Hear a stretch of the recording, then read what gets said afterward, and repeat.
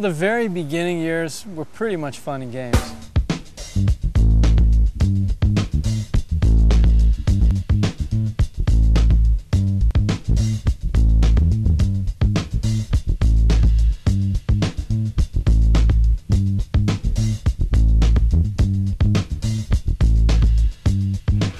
These days, there's no training kites, there's no schools, there's no nothing.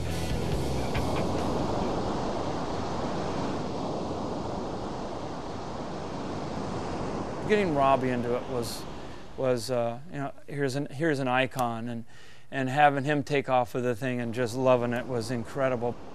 And Robby, he made the first four-line kite that made it more controllable, uh, more user-friendly. Eleven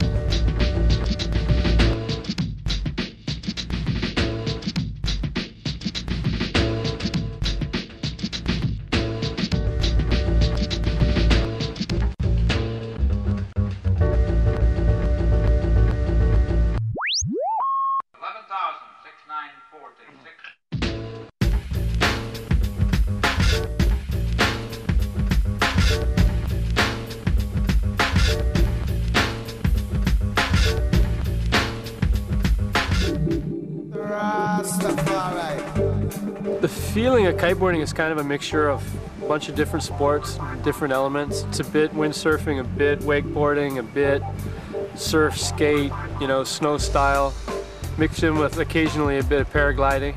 Bring it on.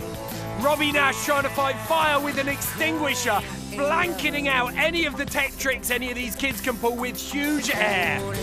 That's it, it's all done by the shouting. The championship will consist of Nash versus Ruben Lenten. The stage is set. Old school versus new school. Who's gonna get schooled? I'm sure new school is gonna kick my butt, but I'm gonna go down smiling, you know?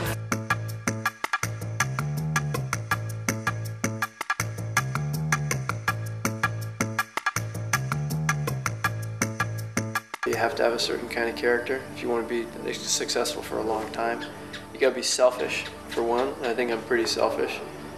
You gotta be driven, you gotta be super motivated, you have to be self motivated. You know, if you gotta wake up in the morning and have somebody else kick you in the ass, you're not gonna succeed in board riding.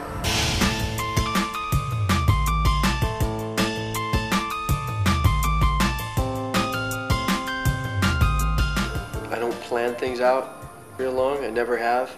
You know, usually if you read books about successful people, they're always setting goals and achieving goals. God, I never had any goals.